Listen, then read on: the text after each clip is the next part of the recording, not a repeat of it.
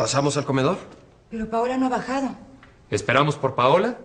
No es necesario que me esperen. Aquí me tienen ya. Ya pueden pasar al comedor. Mamita, mamita, ya regresaste. Mi amorcito querido. ¿Me trajiste una muñeca? Por supuesto. Después te la doy. ¿Cómo están ustedes? ¿Qué pasa que se han quedado mudos y nos saludan? Buenas noches. Buenas noches.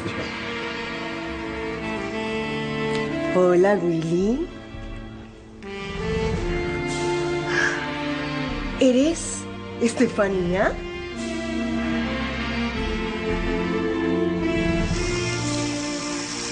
¿Por qué te demoraste tanto? Había mucho tráfico de regreso en la autopista, señor.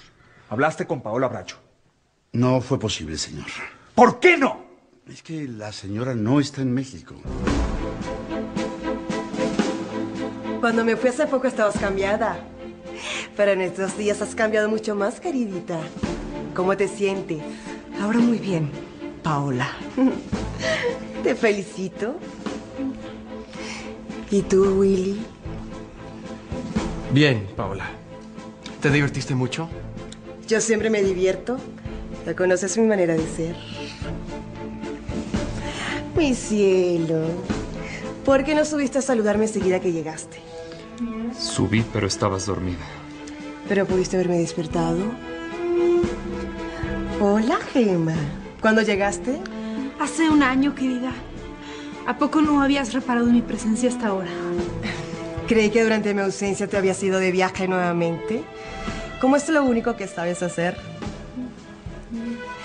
¿Qué dice el matrimonio feliz? Bien, como siempre, Paola.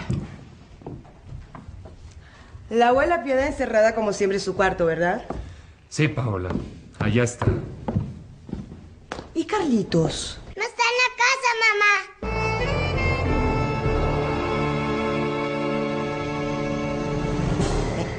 Ya tienes toda tu ropita limpia. ¿No tienes sueño? Todavía no. Pero tengo miedo a su novia.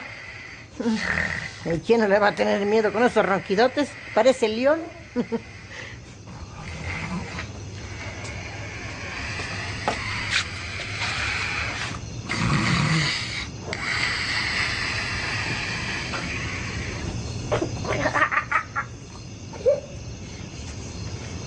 No le hagas caso, mijito.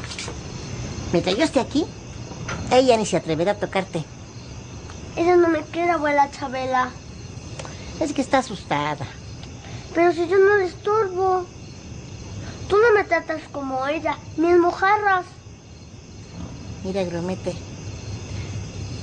Si yo supiera que tú no tienes a nadie en el mundo, que eres solito y tu alma, te dejaría viviendo aquí con nosotras. Pero es que tú, pues debes ser gente popis. Mira, tienes buena ropita. No me acuerdo de nada. Mañana temprano salimos otra vez. ¿no? ¿Me vas a llevar a la iglesia? Sí. A ver si tenemos suerte y alguien te reconoce. Sí, me dejas botado como esta mañana. Y a lo mejor ni vuelves. Tú tampoco me quieres, abuela. No, no llores, Grumete, que se me encoge el corazón. ¿No ves que yo no te puedo dar nada? Soy más pobre que las ratas. Nomás tengo este agujero para vivir. Y lo poquito que gano vendiendo mis juguetitos. Yo te ayudo a vender, abuela. Y ganamos mucho dinero. Sí, abuela, dime que sí. No me lleves a la iglesia para dejarme botado. No me lleves.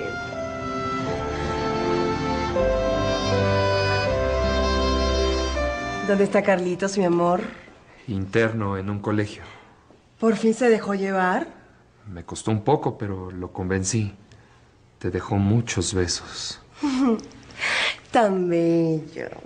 Ay, ¿cómo lo voy a extrañar? Con lo que lo quiero. Debiste esperar a que yo regresara para llevarlos los dos juntos. Pasemos todos al comedor.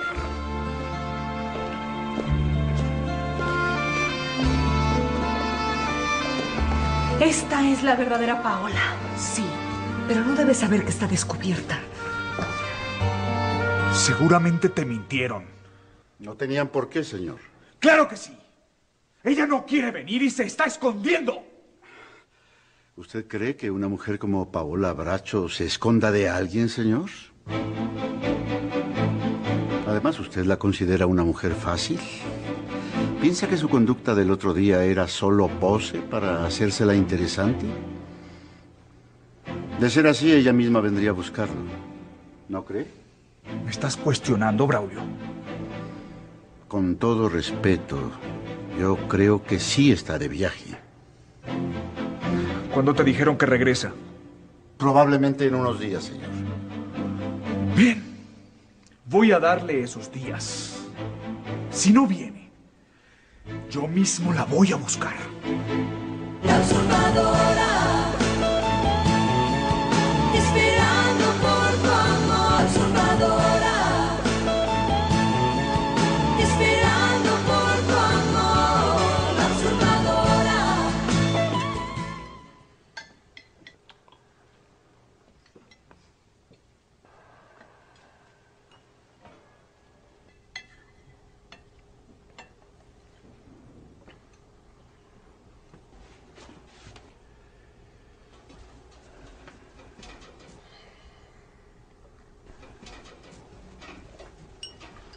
Estefanía parece otra.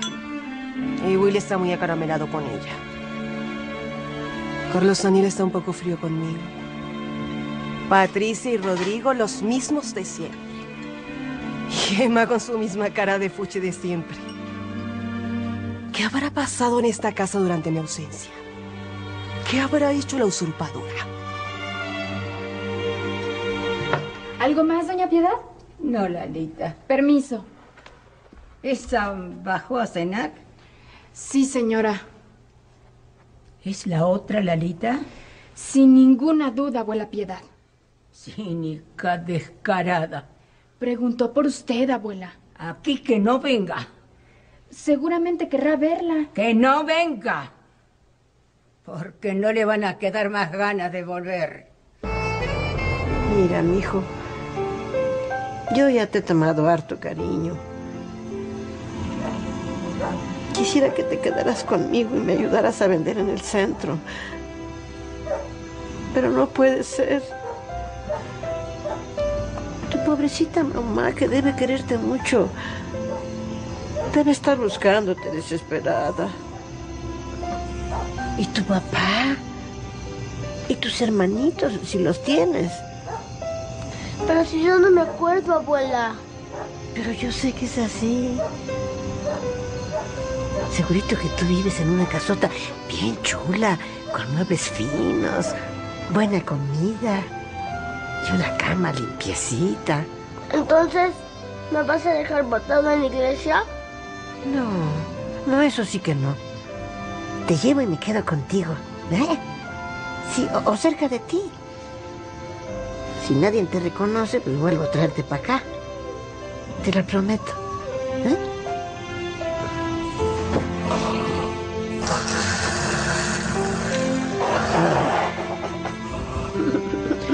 Esta noche no vamos a poder dormir.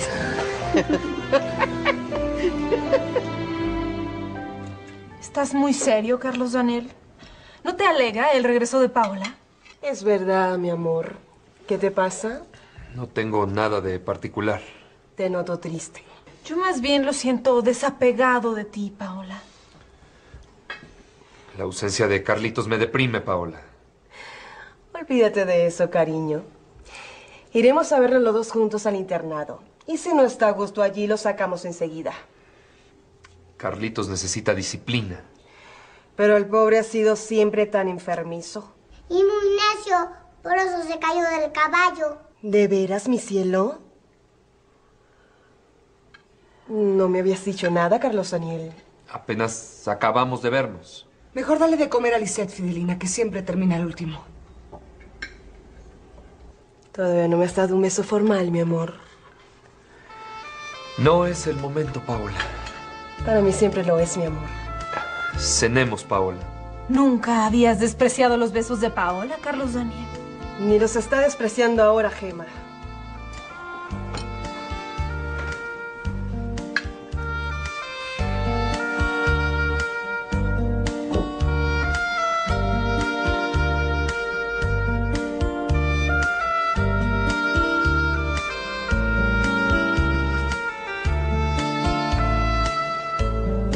El primero de la temporada. Pero me debes muchos pesos. Y esta noche me lo tendrás que pagar. Aunque le duela a Gema. No, queridita, no me duele. No, queridita, no me duele. Tú sabes muy bien que los besos de Carlos Daniel los tuve mucho antes que tú. Cenemos en paz. ¿Quieren? Sí, mi cielo.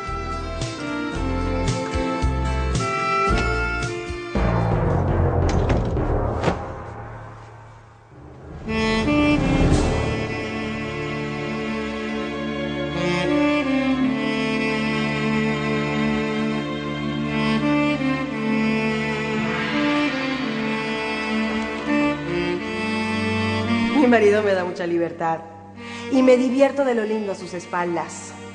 Donato Danieli es maravilloso, muy mal pintor, pero muy guapo. Y como es su capricho, voy a dejarme pintar completamente desnuda por él.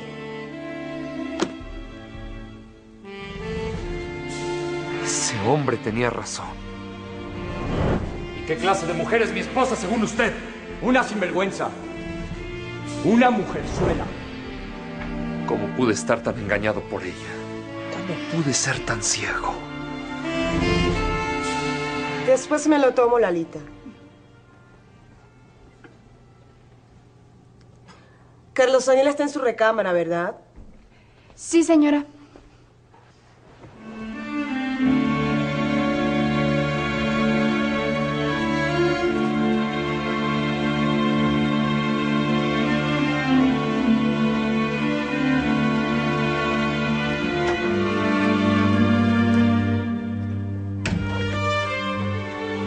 No te me escapas, cariño.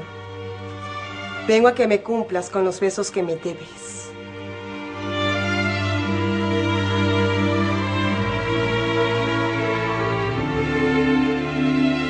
Transformadora, esperando por tu amor. ¿Por qué estás tan frío? Debe ser el cansancio. ¿De qué? Del trabajo en la fábrica. Nunca has trabajado mucho en la fábrica, mi cielo. Ahora sí, ya lo sabes. Y tú debes estar cansada también del viaje. Para hacer el amor contigo nunca estoy cansada. No estoy de humor, Paola.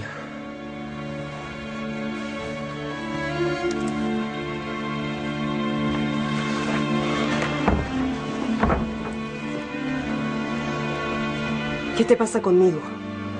Nada. Tengo miedo de no responderte. Tú siempre me has respondido muy bien, Carlos Daniel. Hoy sé que no y no quiero quedar mal contigo. Entiéndeme, por favor. Estoy muy preocupado por Carlitos. No puedo quitármelo de la mente. ¿No será que te has desahogado con otra durante mi ausencia? ¿Cuál otra, según tú? Gema, por ejemplo. No. Ni Gema ni ninguna. Es que no me siento bien. Como a veces no te sientes bien tú cuando yo te lo he pedido y lo he sabido comprender. ¿No puedes comprenderme tú a mí también?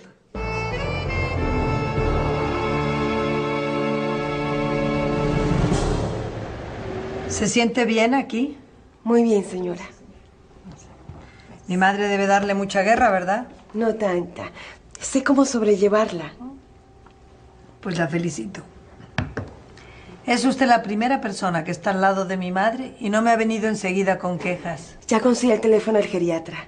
Haré todo lo que pueda para mejorar su salud. Muchas gracias, Paulina. ¿Se le ofrece algo más? No, eso es todo. Bien, señora. Vuelvo junto a doña Zenaida. Con su permiso.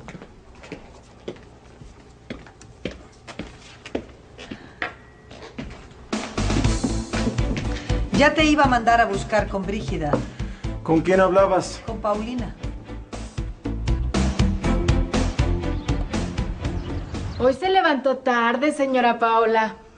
¿Tarde? Apenas van a dar las nueve. Pero hace como un año que usted se levanta a las 7 de la mañana. Y a veces antes. Bueno, pero ya no me quiero levantar tan temprano. Entonces, ¿no va a la fábrica? ¿A la fábrica? ¿A qué, Lalita? Ay, señora. Pero sí parece que usted ha perdido la memoria. Todos los días va a trabajar a la fábrica. Eh, sí, sí, claro. Pero ya me estoy cansando, ¿sabes? Usted ha cambiado, señora. Pero el señor Willy y la señora Estefanía también. Tanto que por eso la señora Estefanía va a tener un bebé.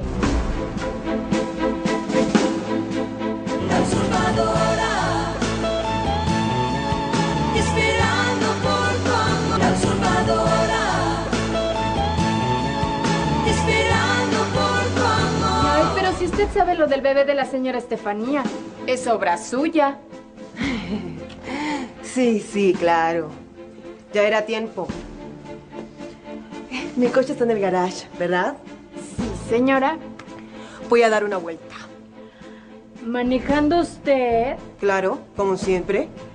Últimamente usted prefería salir con el chofer. Ahora quiero manejar yo. Dame un cigarrillo. Ay, me tiene usted sorprendida, señora. ¿Ahora por qué, Lalita? ¿Usted ya había dejado de fumar? Paulina se llama la cuidadora de mi mamá. Ah, como no la conozco. Es que nunca estás. Anoche te fuiste y apenas vas llegando. Sí, y pienso dormir todo el día. Me llamaron del banco. Estás perdiendo mucho dinero en el juego, Osvaldo. ¿De verdad? No me había dado cuenta. Claro, si juegas tomando, extiendes cheques sin mirar la cantidad. Para eso soy muy rico, ¿o no? No creo que haya fortuna, por muy grande y sólida que sea, que resista tus derroches, Osvaldo. Yo me voy a mi cuarto. No me vayas a molestar, por favor. En este último viaje decidí volver a fumar. No se enoje conmigo, señora. Antes era de una manera y ahora quiero ser de otra. Y se acabó. Avisa que tengan mi coche listo.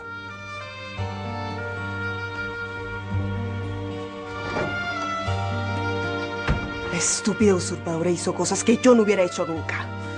Y ahora me está haciendo caer en contradicciones. ¡Maldita sea!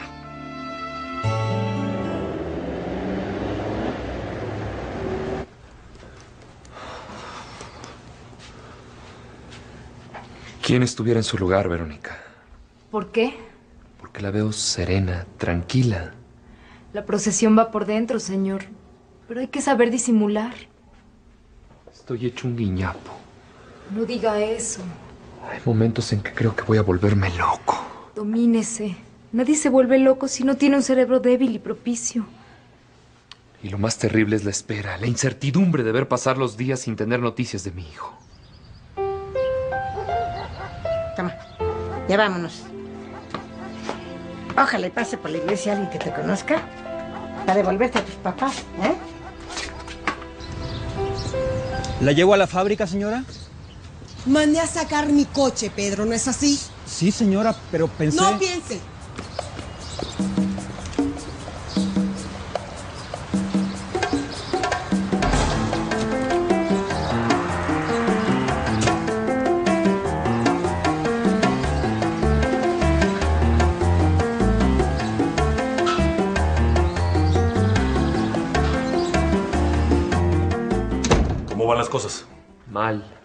Después hablamos. No, no tiene por qué irse, Verónica. Es que no quiero platicar de lo que no tengo ganas. ¿Y anoche te acostaste enseguida? No.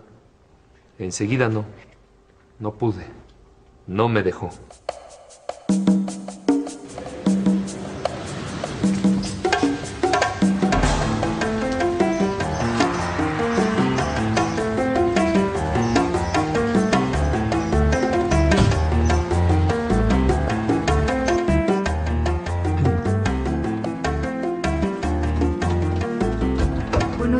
señora Paola. Buenos días. La por tu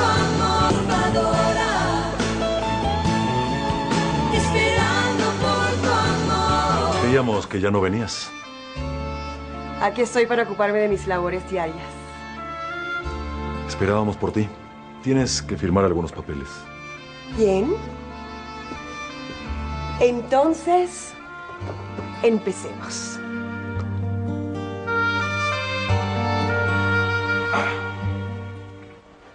Te pedí que no me molestaras. No debes enojarte porque te diga que estás gastando demasiado. ¿Y qué querías? Me casé contigo por eso, por tu dinero. Me vendí a ti y tú bien lo sabes. Eres un cínico. No tienes decoro. Cometí el error de no haber sabido conocerte a tiempo. Me casé contigo porque te quería. Porque te quiero. Pues lamento no poder corresponder a tus sentimientos. Te autoriza eso para que no solo me humilles y me pongas en ridículo, sino para que también quieras arruinarme. No te quejes, Lourdes. Puedes dejarme cuando quieras, pero mira tu edad y ve la mía. ¿Crees que de otra manera podrías tenerme?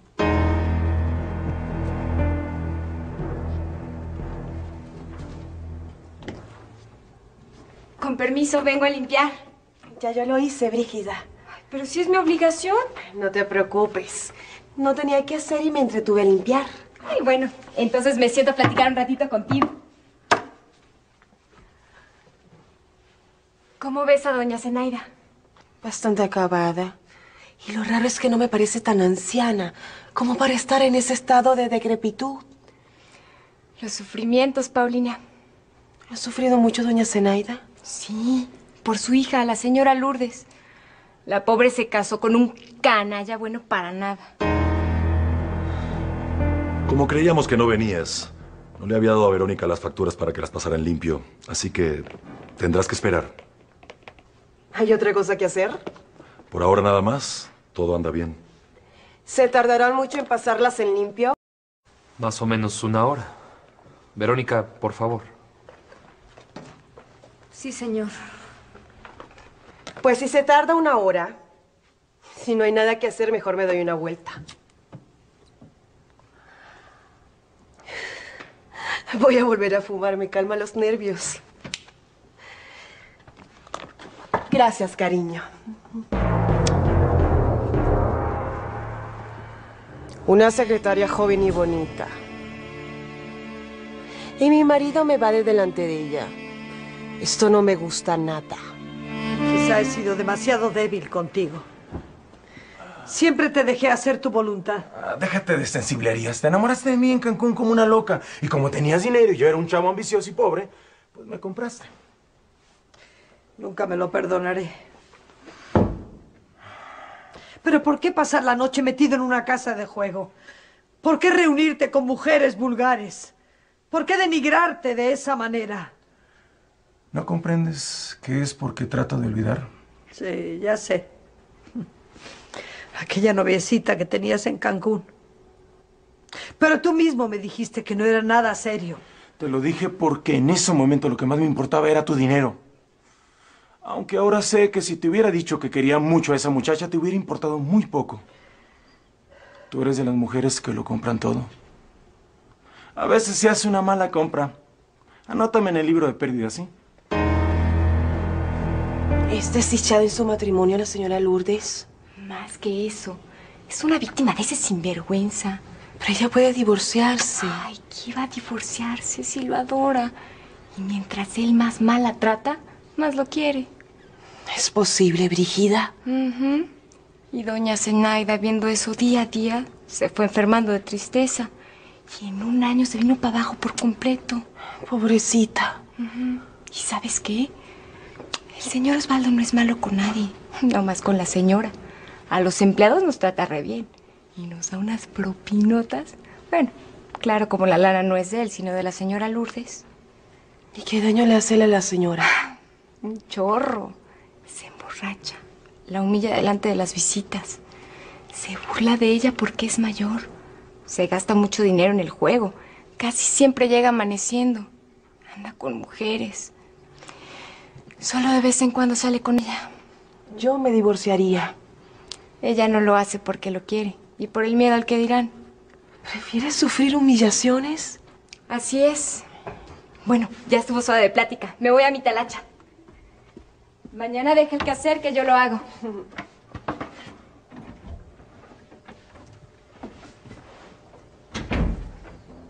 ¿Quién será ese sinvergüenza?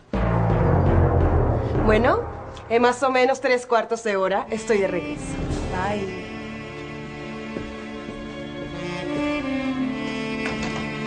Voy a mi oficina a pasar en limpio las facturas.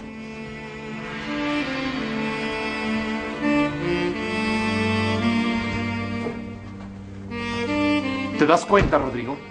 ¿Hasta dónde podemos llevar esta situación? A donde sea necesario.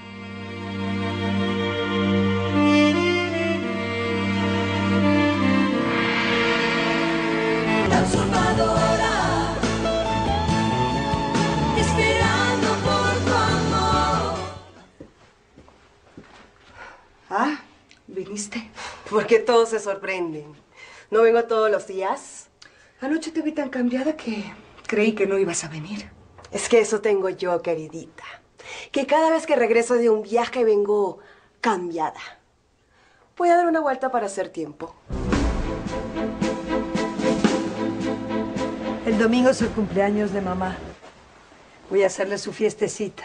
Una farsa de la que ella no se da cuenta. Tal vez sí, Osvaldo. No, tú sabes que no.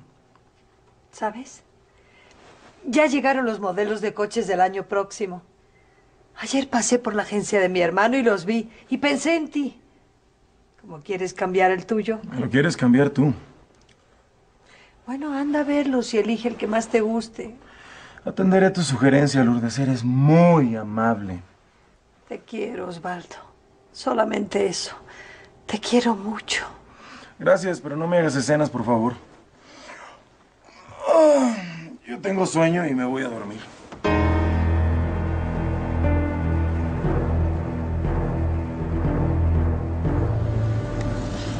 Abuela, estoy cansado. Ay, yo también, Grumete. Pero mejor seguimos caminando. A ver si encontramos a alguien que te conozca. Por este lugar vive mucha gente rica. Abuela, ¿para qué quieres que encuentre una gente que no conozco? Pero ellos sí te conocen a ti. ¿Por qué no nos sentamos un ratito, abuela? Ay, sí, mijo, porque ya no aguanto las riumas. Lástima que tengo la pata mal, abuela. Me gustaría ser como los otros chavos. ¿Sabes lo que te hace falta? Una buena muleta. ¿No traes ninguna? No sé. Yo mejor quiero una pata de palo. Ay, mijo. Esa es para gente que no tiene pata. Pues, ¿Cómo te vas a poner una pata de palo encima de tu patita de carne y hueso? Doblo la mía, abuela. ¿Qué cosas tiene, chamaco? El Mojarras me contó un cuento de un pirata que tuvo que ponerse una pata de palo.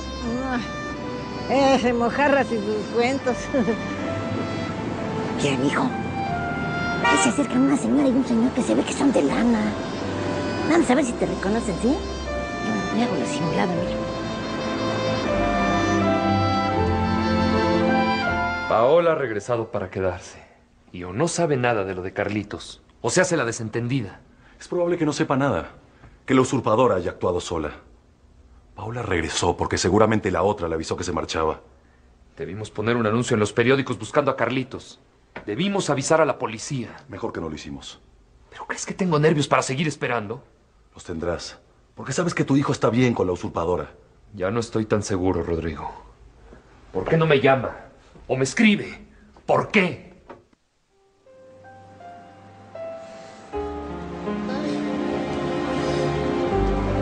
Nada, mijo. Ni nos pelaron. Paola estuvo aquí. ¿Hablaste con ella? Me la encontré en el pasillo. Dijo que iba a dar una vuelta. Regresará. Seguramente volverá a coquetearte. No voy a hacerle caso. Será lo mejor. No voy a tener paciencia para soportarlo. Ahora que ya está descubierto ante mi hermano. No seas tonta, Estefanía. Ni una mirada te permito, Willy. Ya sufrí bastante. Esa sinvergüenza no va a volver a arrancarme una sola lágrima. Y mucho menos a perturbar el nacimiento de nuestro hijo. Se va a dar cuenta de que algo pasa. Si es por eso que se dé cuenta de todo. Evítala. No hables con ella. Porque no me voy a poder contener.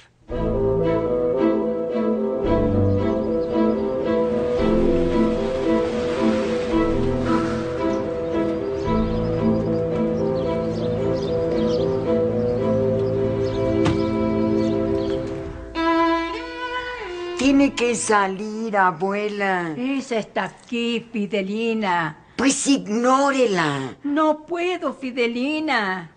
Es que no la soporto. Voy a tener que hacer un esfuerzo muy grande para no ponerla en su lugar. Además, me tiene muy achicopalada lo de Carlitos. Si, como dicen, está con usurpadora, pronto volverá. Pero no, no estás con ella, Fidelina. Entiéndelo. De lo contrario, ya sabríamos de él.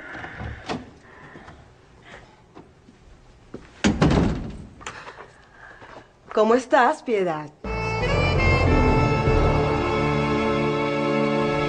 La usurpadora,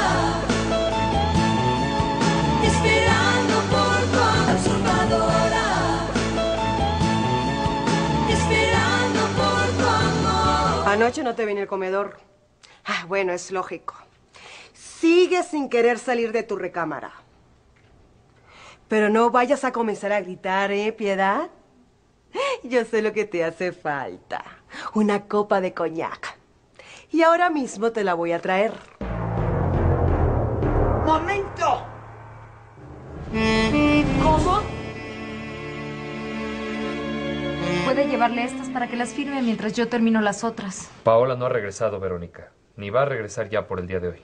No sabía que había vuelto de su viaje. Volvió ayer. Estará más tranquilo. Ya la tiene otra vez aquí. Ahora me siento peor que antes. Me estorba, ya no la quiero.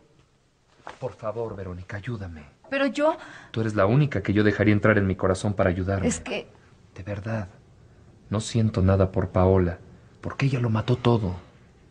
Porque ella tampoco siente nada por mí. Hay que organizar una comida para... para...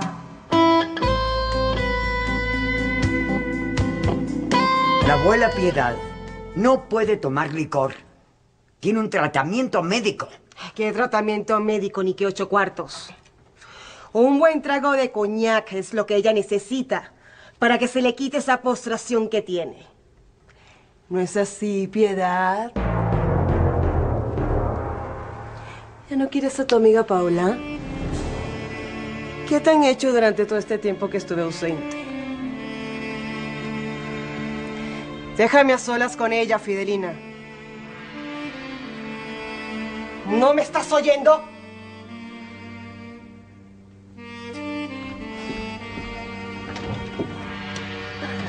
Esta bruja nunca me ha podido ver. Ni yo a ella, claro. A ver, Piedad, cuéntame lo que te pasa. Cuanto terminen las facturas que faltan, se las llevo a la oficina para que la señora Paola las firme. Está bien, Verónica. ¿Quieres decir que Paola vino a la fábrica? Sí, Gemma, pero ya se fue y no creo que regrese. Luego voy a verte, querido.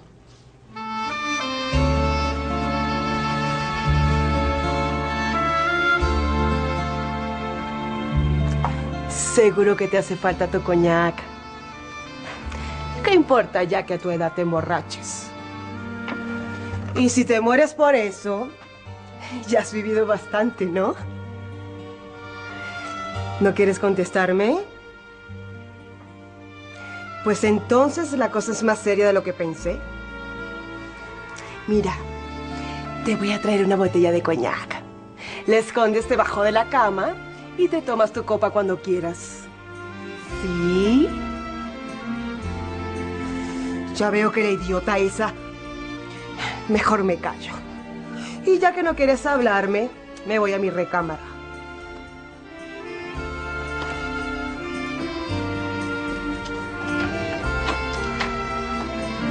Malvada, hipócrita. Así que te entiendes con él. Está usted equivocada. Mosquita muerta. Yo te advertí que no te fijaras en Carlos Daniel. No hay nada entre él y yo. No, Mustia. Si no entro, quién sabe hasta dónde habrías llegado con él. No le permito. La que no te permite soy yo. Ese hombre está prohibido para ti y para cualquiera otra. Ese hombre a la larga solo será para mí. Pero ahora es de otra. Tuyo no. De Paola Bracho. Paola tiene los días contados en la vida de Carlos Daniel. Y cuando ella desaparezca definitivamente, yo pasaré a ocupar su lugar. No veo que el señor Carlos Daniel le haga caso. ¿Y ¿Crees que vaya a hacerte caso a ti? Una simple secretaria. Precisamente, porque soy una simple secretaria, no sé qué le preocupa. El señor Bracho solo me estaba contando sus angustias. Tú lo consolabas, claro. Que sea la última vez que te vea resbalándote con él. La próxima. Vas a saber quién soy yo.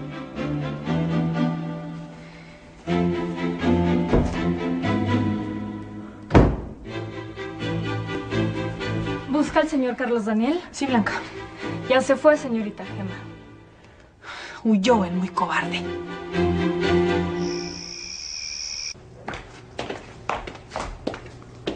¿No ha llegado Carlos Daniel? Sí, señora, hace rato. ¿En su recámara no está? Desde que llegó se encerró en la biblioteca. Ni siquiera ha pedido café. Y llegó con una cara de pocos amigos. Ahora mismo se la voy a cambiar.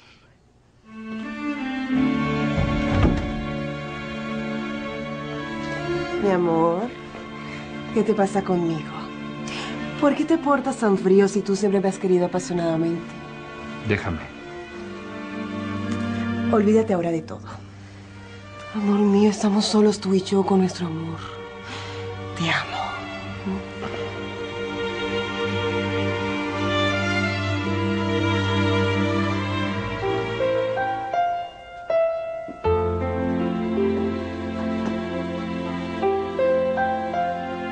¿Qué estarán pensando de mí? ¿Me extrañarán? Por lo menos los niños y la abuela Piedad sé que me extrañan. Pero... ¿Y él? ¿Carlos Daniel? No. Él debe odiarme. Él debe despreciarme por lo que hice. Ya sé qué te pasa. Estás resentido conmigo por mi cambio de antes. Pero ya volví a ser la misma. Apasionada como siempre. Tú serás la misma. Yo no. Ay, papi, cuéntame lo que te preocupa. Dicen que la fábrica está muy bien. ¿Quién mejor que tú para saberlo? ¿Sí? Pero seguro vale más la opinión de los demás que la mía. Gracias a ti. Ya no tenemos problemas en la fábrica. Son otras cosas. Olvídate de todo, amorcito. Paula, no estoy de humor para caricias. Además, hace un año que tú misma, con el pretexto de estar enferma, me cerraste la puerta de tu recámara. Ahora creo que ya es tarde para volver atrás. Estoy enferma, cariño. Pero en este viaje supe que ya estoy curada. Estás curada tú. Pero ahora el que se siente enfermo soy yo.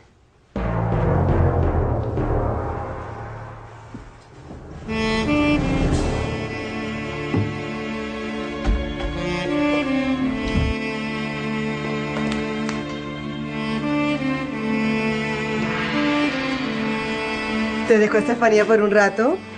Ah, tú. ¿Qué pasa? ¿Me tienes miedo? Claro que no. Pues vas a demostrármelo. Te espero en el jardín, en nuestro lugar de siempre. Quiero hablar contigo. No me vayas a fallar. Demuéstrame que no me tienes miedo.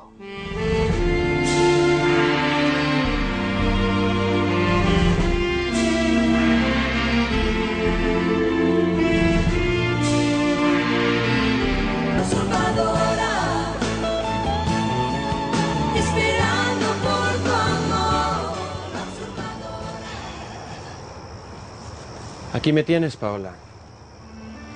Entonces no me tienes miedo. ¿Por qué habría de tenértelo? Te he notado muy esquivo. Aquí todo cambió, Paola. Estefanía ya no es la de antes. Vamos a tener un hijo. La quiero. ¿Seguro que la quieres? No lo dudes. Antes querías a otra. Antes estuve loco. Sabes que con unas pocas palabras puedo destruirte. Nos destruiríamos los dos. Y por eso no las vas a pronunciar. Sabes que suelo ser peligrosa cuando me aburro. Ahora no vas a tenerme de entretenimiento. Ay, qué mal viento pasó por esta casa que lo trastornó todo. ¿Seguro que no lo sabes? No, no lo sé. Paola, todas las cosas por ley inmutable de la naturaleza nacen, crecen, llegan a un nivel muy alto o menos alto.